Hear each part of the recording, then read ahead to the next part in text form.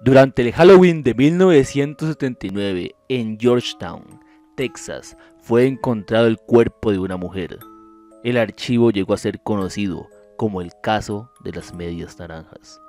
ya que el cuerpo de la víctima estaba en completa desnudez, a excepción de únicamente un par de calcetines naranjas. La víctima que murió estrangulada fue encontrada en una cuneta de concreto en una carretera interestatal y no fue identificada por más de 40 años, hasta que el sheriff Robert Chowdy del condado de Williamson en Texas anunció el miércoles 7 de agosto de 2019 que el cuerpo de la desconocida, hallado el 31 de octubre de 1979, corresponde a Debra Jackson,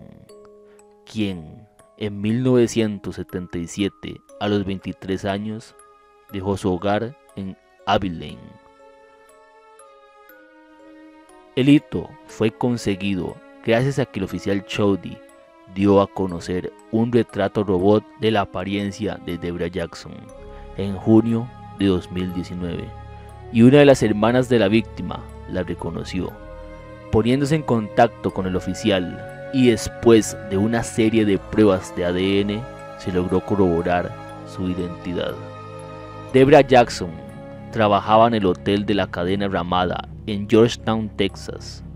la noche en que desapareció.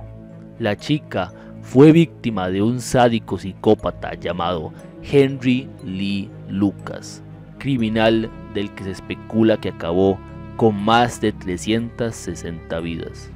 y de su compañero Otis Tull, un bruto enorme con ligero retraso mental, pirómano, caníbal y asesino.